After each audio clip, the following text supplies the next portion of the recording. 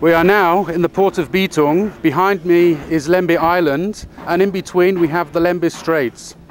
Uh, what's so special about the Lembeh Straits is that uh, you can find an incredible diversity of critters uh, unique fish species, crustaceans, nudibranch species, uh, which range from ghost pipe fish, hairy frogfishes, hairy filefishes, uh, an immaculate species, an abundancy of uh, marine life here.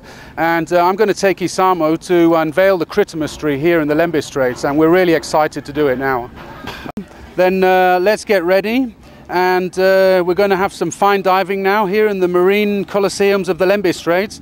Okay, let's go. Yeah. Good. Okay, good.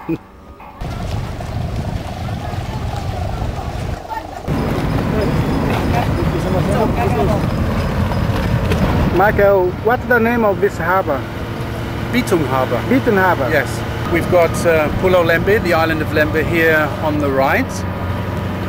And here we have the North Sulawesi Peninsula to the left, and this strait of water here is the Lembeh Strait. So uh, this site here is uh, Police Pier actually. It's a bit uh, off the Police Pier location but uh, our guide Noldi is going to show us around and uh, show us some uh, interesting things down there. Okay.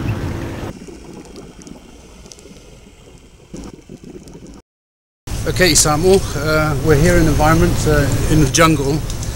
Join me now for some good diving. Okay, okay, I follow you. You follow me now. Okay. Please.